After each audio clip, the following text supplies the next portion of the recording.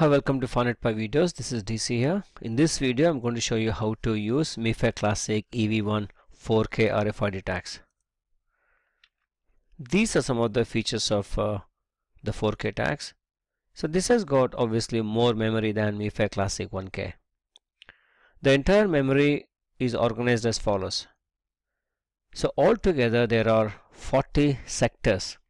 If you compare this with the 1K, 1K had only 16 sectors whereas 4K 4K has got 40 sectors. Now out of these 40 sectors the first 32 sectors are compatible to 1K that is the first 32 sectors have 4 blocks each and out of these 4 blocks 3 blocks is used to store the data and one block and one block is for sector trailer and all these four blocks have got a separate access bits. The next consecutive 8 sectors they have got 16 blocks each out of which 15 blocks are used to store the data and one block is for the sector trailer and you know the sector trailer is the block where the access access bytes as well as the values of the key A and key B are stored now because of because of the way the, the sector trailer is organized, so if you compare with the 1K, or for example if you compare with the these 32 sectors, so where all the four blocks have a separate access bits, whereas here because of the shortage of the access bits, the blocks are grouped. So they grouped into five blocks each so as I mentioned here, each five blocks belongs to a group and each access bit controls this group. So in other words, each access bit controls or applies to the five blocks in a group. But the sector trailer has got its own access bit. So if you didn't get this point, you know, you'll you'll you'll understand when I give a demonstration on that. So you can also have MIFARE Classic the version 0 as well as MIFARE Classic EV1 version.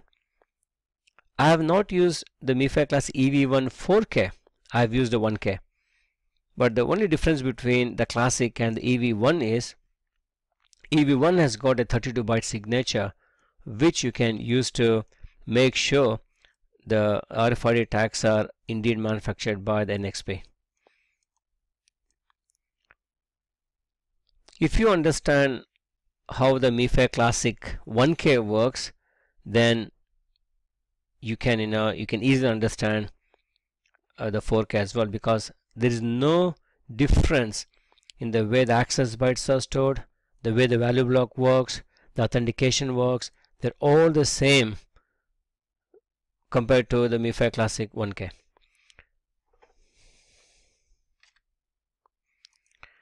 In all my videos I've been using four types of uh, readers. Now I've been using the software or I've been using the PN532 based build your own kind of a reader. So I've also made videos using ACR122U or ACR1252 readers. And I've also got videos on how to do these RFID operations using OmniKey 5022, 54, 5321, 5421 readers as well as the Arduino based uh, like a build your own type of reader using PN532 or MFRC522.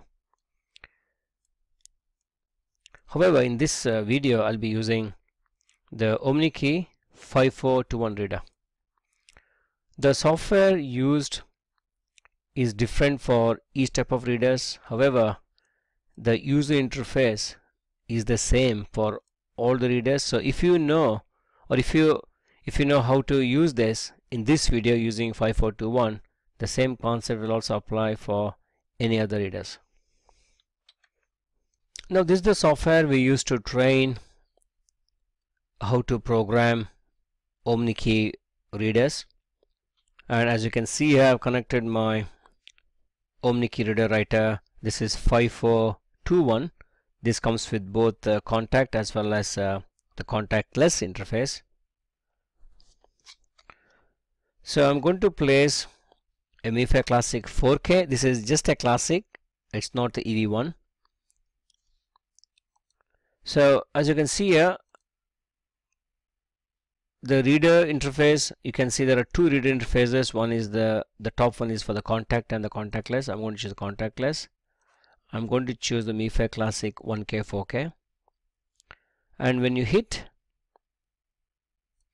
when you first thing you know you have to activate and you can see all the various commands that are used in uh, OmniKey reader writers. And when you hit this read entire tag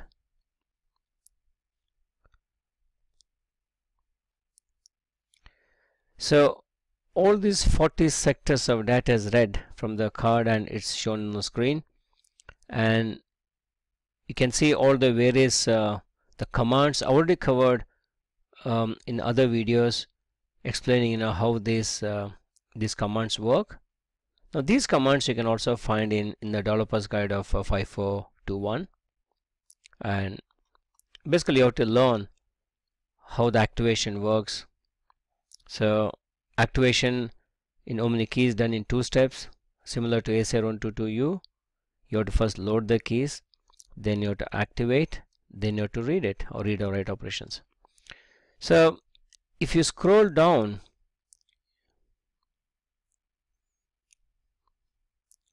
now starting from I already got some data on this uh, sectors as well. So if you see here so here the sector number starts from 0 and goes up to 39 the first 32 sectors have got four data blocks and one sector trailer. So this is very similar to MIFARE Classic 1K and in fact if you have got a system that works with the MIFARE Classic 1K you can still use the MIFARE 4K so we'll end up using only the first 16 sectors and not the the rest. So these are like interchangeable cards. So sector 32 as you can see here from this point on the number of blocks in each sector increases. So they've got 16 sectors if you count the the sorry 16 16 blocks so if you go to the last column it says uh, block 0 to block 15 now the first five blocks from 0 to 4 they belong to one group. And uh, the next five blocks from 5 to 9 belongs to the second group. And the third group is from block number 10 to 14 so there's no difference in the read and write operations. If you've seen my earlier videos on MIFARE Classic uh, EV1K it's all the same. So if you want to make changes here just directly edit edit this uh, block data. And before you write before you hit this uh, W button you have to authenticate.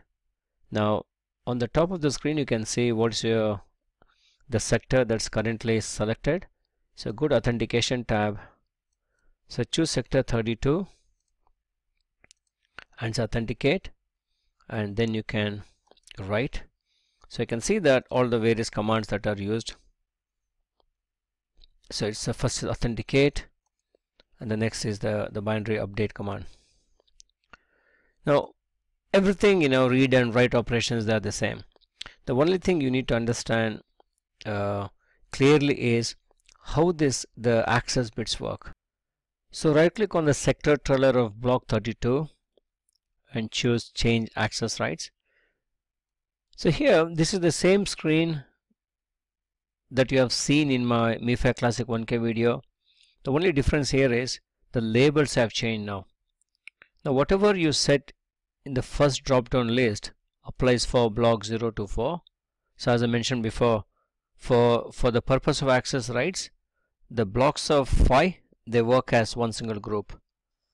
And whatever is set here will apply for block 5 to 9 and whatever is set here applies to block 10 to 14 and this is separate access bit for the sector trailer. Now for the sake of demonstration I'm going to choose this in random but you have to be very careful when you choose these numbers. Say for example if you go and choose 3 you might end up having a block that is uh, not readable or sector entire sector not readable okay. So I'm going to use this uh, safer one that's 4 because if you can see in the background if the if the access bit set to 4 I can read either A or B. And if you set that to 3 you cannot read with the you cannot read this at all because you know there is uh, uh, the way this access bit works is uh, different. So to put in simple words if you set this to 3 you have to activate with the uh, key B in order to read the block. But we are using the here the key A. I'm going to keep the sector trailer as 1 because this is the, the default factory setting. With this sector trailer access bit, you can go back and change everything back to the default as well. So click OK. So I'm going to, before probably before you write, you have to make sure you have authenticated the sector 32 so when I say authenticated sector 32, it means you know you can use any uh, block address in the sector 32 for authentication. So authenticate. I'm going to clear these logs and say hit this uh, the write button. Probably is it's uh, good to have a feature where the software asks you uh, for the confirmation because writing to sector trailer is um, it's not you know it's, it's not a simple thing you know you might end up making the sector non-readable so here the the reader says the write was successful and also if you can see what has happened here. So what you see here is done by the software. Now the first five blocks if you ignore this because that that corresponds to sector trailer of the sector 31 the first five blocks from 0 to 4 they all have the same access bit 1 the next five blocks from 5 to 9 they have the access uh, right 2 then the next five blocks has the access uh, bit 4 and we, we still have the sector trailer access bit set to 1 now I'm going to close and reactivate.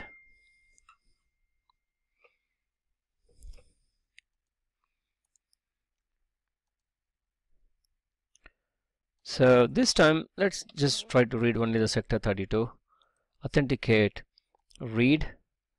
So you can you can see here after you decode the access bit stored in the byte B6 B7 B8 you'll end up getting these access bits. So one for the first five blocks two for the next five blocks and four for the the last five blocks. So I can go back and change the access threads back to the factory setting and say right now we are back to the factory setting now all other operations you know like the the value block operations. So they're all the same. That doesn't matter whether you use uh, for 1k or 4k so please see my other videos and I've explained in detail how to use this increment and decrement operations. So what we have covered in this video is so now you know what is uh, the difference between 1K and 4K and you know 4K has got a huge memory it has got 4K kilobytes of memory. And this type of uh, the uh, these memory cards you know they they very well suit for a multi-application RFID solutions where probably you can because of the amount of uh, memory you got you can use this say for example like a, a, a library access card where every time you know um, a book is issued you can use a block to write the log of the book the date and time issued and so on and so forth. So that's all and thanks for watching